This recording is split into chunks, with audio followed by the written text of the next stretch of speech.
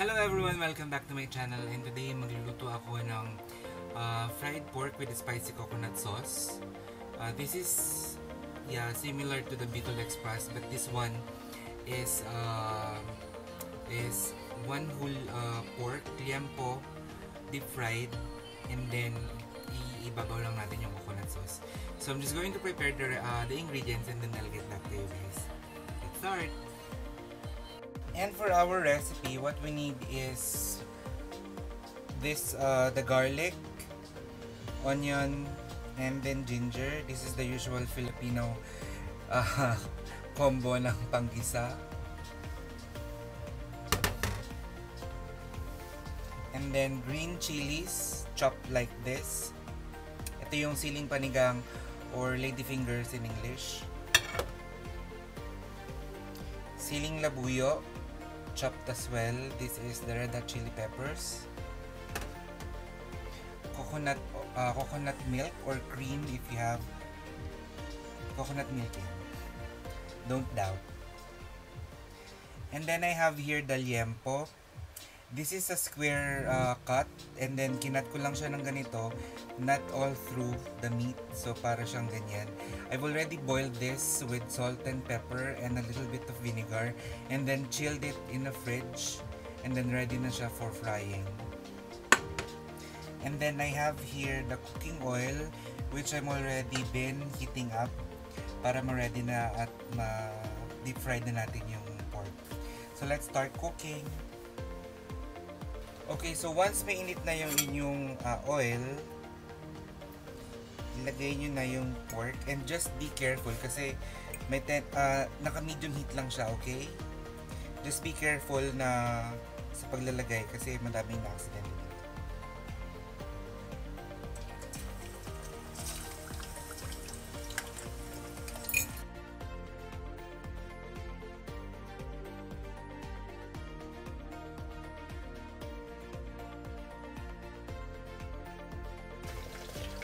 Kinover ko siya kasi medyo nag naghuramintad na siya. Hindi natin siya ibaliktad. Again, uh, careful, okay? Oops. Oops.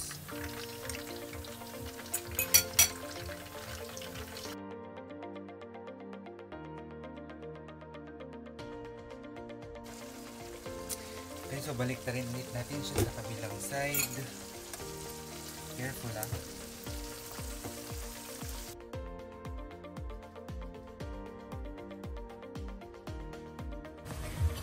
So I'm almost done with with frying. Ginito ko lang siya just to to base the pork para mag-help pa din na maging crispier palalo. See that? This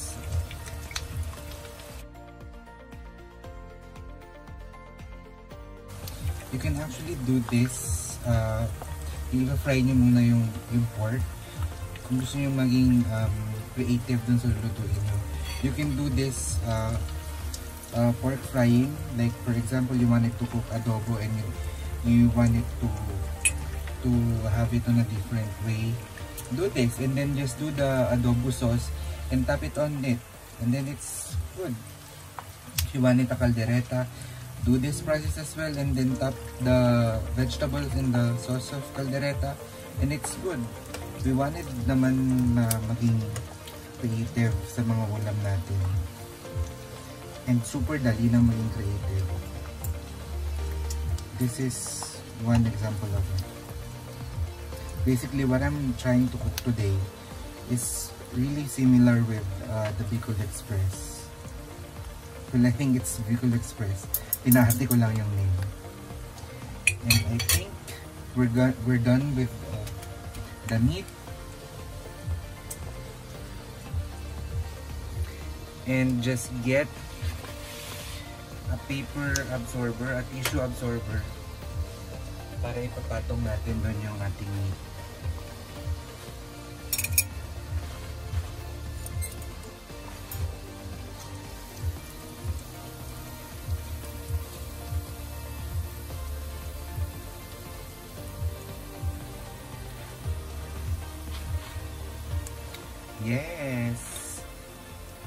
So okay na siya.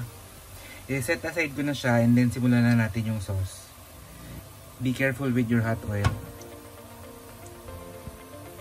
Okay, so for a, in a frying pan, kuha lang tayo ng konting oil from this. Kasi, rest lang naman yan. Para may init na din.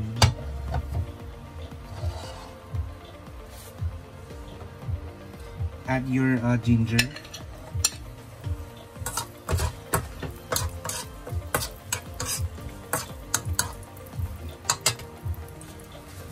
Pinagluluto talaga ako mapunas ako.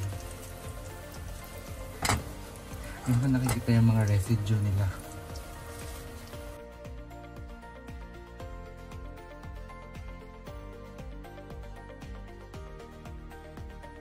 And add your garlic.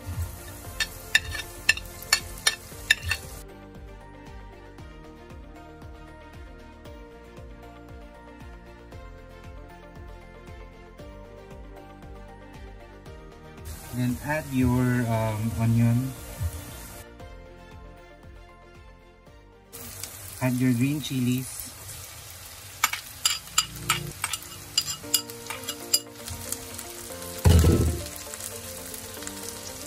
And your red chilies.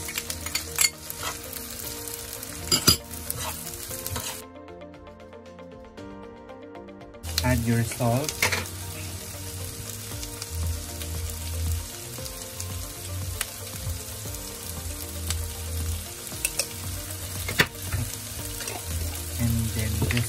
Sauteing.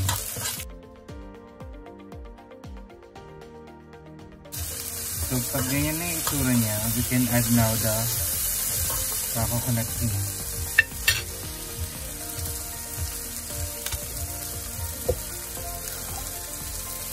I mean the coconut milk, sorry.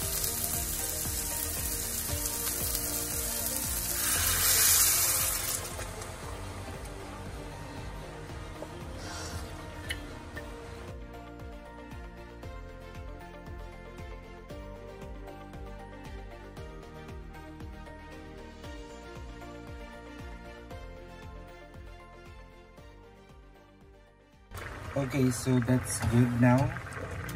What we need now is to strain lahat yung garlic, yung yung sili kasi nakuha ko na yung flavor niya.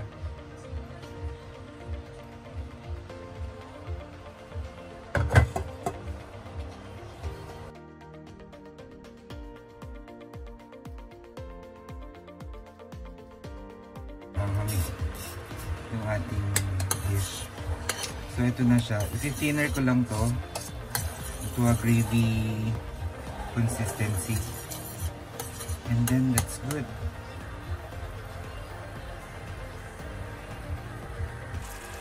Okay, so this consistency is okay for me now. See? Or a little bit more.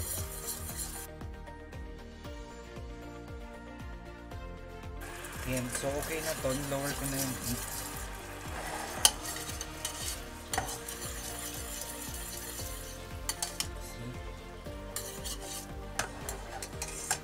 Plate ko na siya.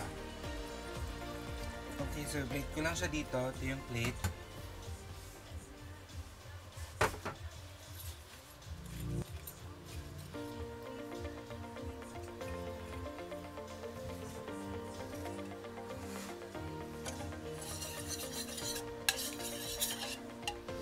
Then just pour in the sauce.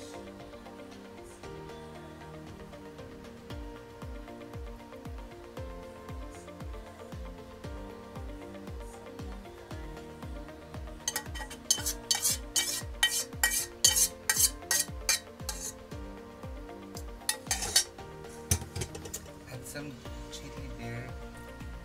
Yan. Yan na sa. Sobrang simple lang.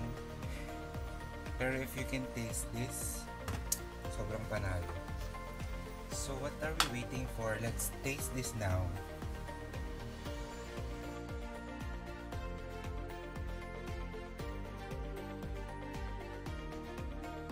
Okay, so this is my favorite part na. Tiki man time. Yan. So, I'm going to combine it with the rice. para ma-experience ko talaga yung sarap. And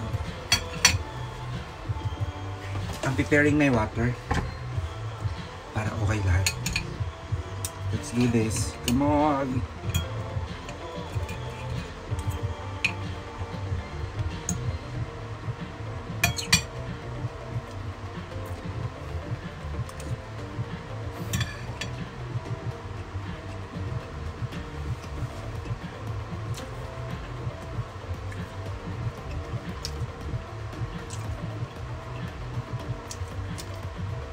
It's really good. Hindi siya maanghang.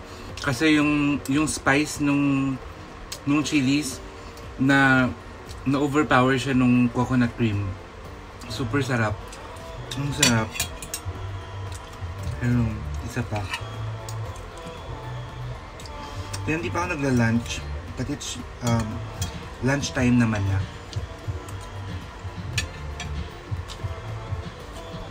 Hindi ko ito magagamit. Hindi siya ganun kaanghang. It's definitely a good job for me. Wait lang. So yun, ang daling kung ang dali ko siyang prepare. The pork um the pork uh, the fried uh, the fried pork na liempo, you can do this to anything na gusto nyong lutuin. If you want it to be creative with your adobo, fried your uh, your uh, pork liempo first and then just pour in the adobo sauce or with the caldereta, with the menudo, with the kare-kare, do that. And definitely, your family will enjoy it. Dadaka sila, it's so cre but ang creative ng luto, they're gonna think it's new but it, it's not. Just, uh, it is just how you deliver it and how you present it para maging creative ka. So ayun guys, thank you guys for watching. And if you enjoy this video, please hit subscribe, ring the bell para updated ka sa mga upcoming videos ko. Thank you everyone. Have a great, great weekend or weekdays kung asan man kayo. Thank you for watching. Have a great day. Bye-bye. Sarap! Thank you for watching again. Have a great day. Bye-bye.